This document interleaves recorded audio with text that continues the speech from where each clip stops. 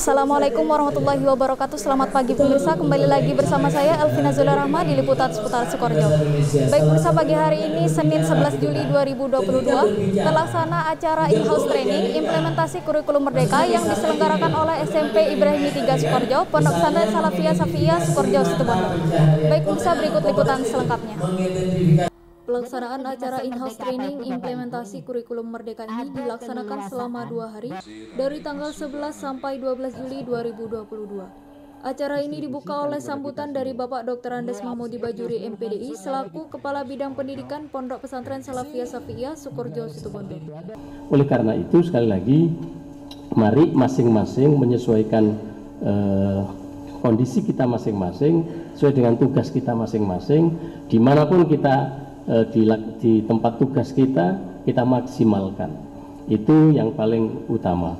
Dan itulah khidmah kita kepada pesantren. Makanya kalau teman-teman biasa menyampaikan eh, peristilahan di pesantren semua umana semua guru ini adalah berkhidmah untuk pesantren. Sehingga ada bagian-bagian memang di situ. Khidmah kita bersama-sama.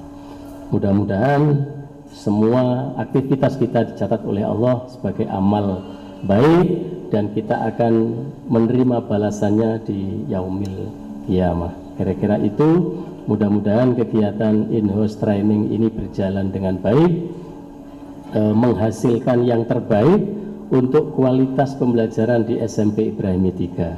Untuk itu marilah bersama-sama kita buka in-house training dengan materi khusus yaitu uh, kurikulum merdeka.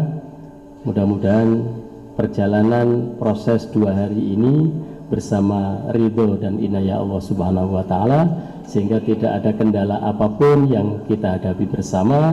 Dan sekali lagi hasilnya dapat dirasakan oleh siswa SMP Ibrahim 3 dengan ucapan Bismillahirrahmanirrahim in-house training IKM SMP Ibrahimi 3 Sukorjo Situbondo kitanya akan dibuka dan dimulai.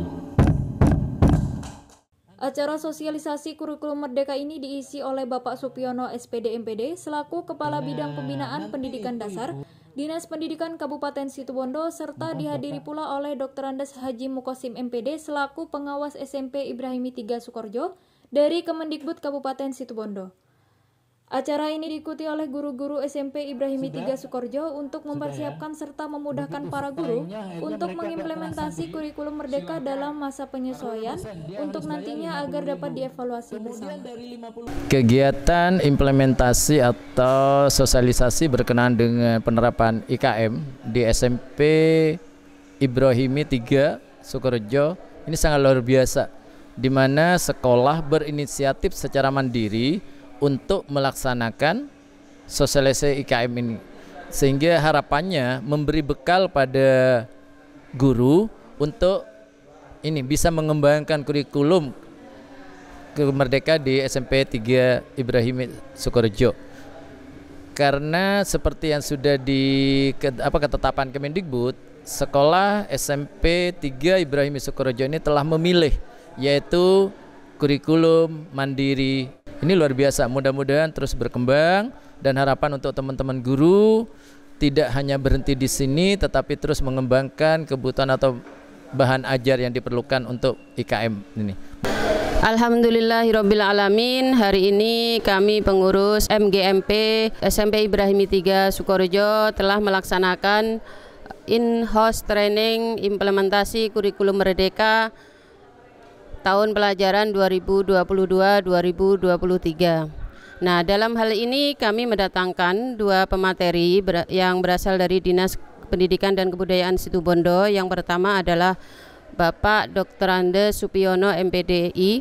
Beliau adalah uh, Kabit Pembinaan Dikdas Kementerian Pendidikan uh, Nasional di Situbondo.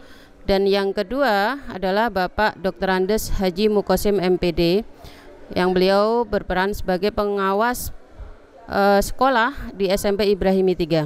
Kami mengharapkan dari pemateri tersebut memberikan wacana tentang bagaimana implementasi kurikulum merdeka yang nanti akan diterapkan oleh guru-guru kelas 7 di SMP Ibrahimi 3. Harapan kami eh, guru-guru di SMP Ibrahimi 3 khususnya kelas 7 dapat menerapkan implementasi kurikulum merdeka dengan baik dan nantinya juga akan kami dievaluasi uh, oleh MGMP dan sekolah.